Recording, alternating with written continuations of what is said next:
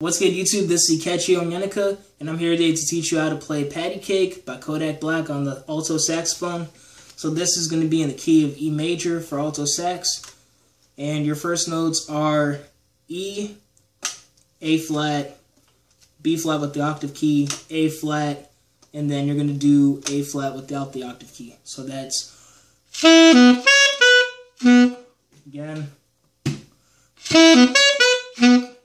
Okay, and then um, your next part is going to be E, B flat, A flat, all with the octave key. So, and then your next part is F, E flat, A flat. So that's going to be.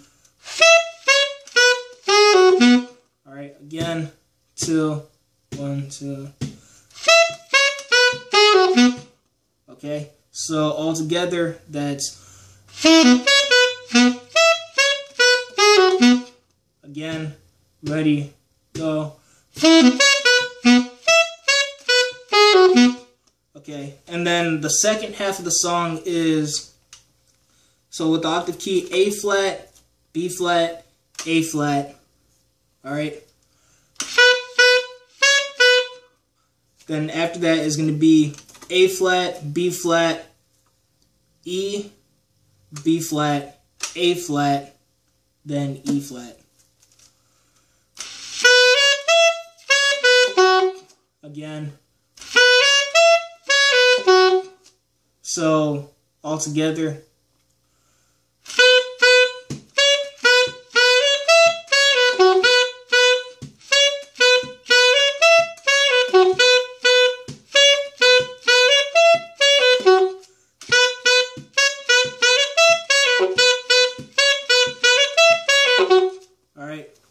Now the first half and the second half all together, this pretty much loops. That's pre that pretty much makes up the whole song.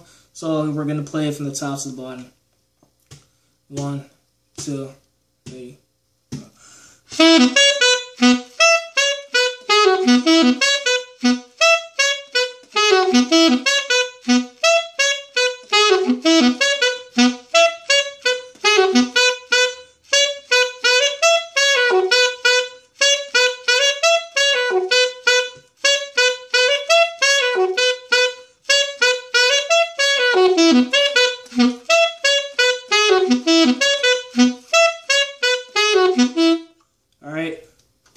so that pretty much concludes this tutorial. If you like this video, please make sure to rate, comment, share, and subscribe.